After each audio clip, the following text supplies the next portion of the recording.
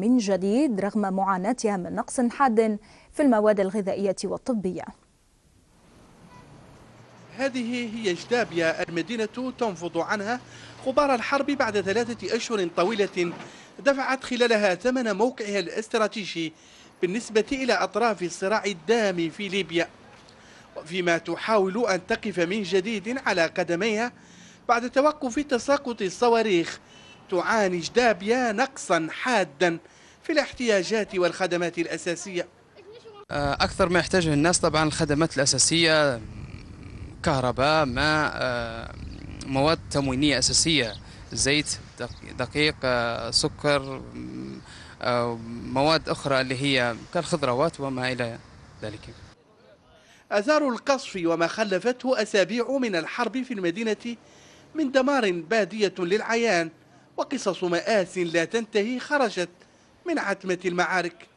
كهذا البائع المتجول الذي فقد ثلاثة من إخوته عندما سقط صاروخ على منزل العائلة فسواه بالأرض.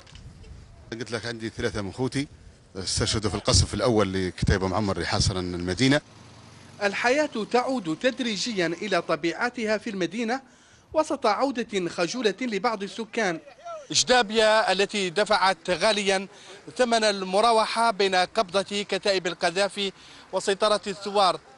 تحاول اليوم لملمة جراحها على أمل ألا تعود أبدا إلى حكم العقيد معمر القذافي. خليل ولد جدود العربية جدابيا أما في طرابلس فقد نصب الأفارقة المتضامنون مع مع معمر القذافي الخيام أمام بيته في ثكنة باب العزيزية. يتجمعون فيها يوميا ويعتبرون أنفسهم مدافعين في الصف الأول عنه. كما أنهم أعادوا مبايعة القذافي ملكا لملوك إفريقيا. مفد العربية الهادي الحناشي معه التفاصيل. هنا أمام بيت العقيد الليبي معمر القذافي. نصبت خيام لإيواء أفارقة متضامنين مع العقيد.